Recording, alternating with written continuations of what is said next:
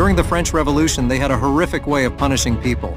They used this thing called the guillotine, which was basically a giant blade that chopped off people's heads. What's even weirder is that it was named after a guy named Dr. Guillotin who didn't even invent it.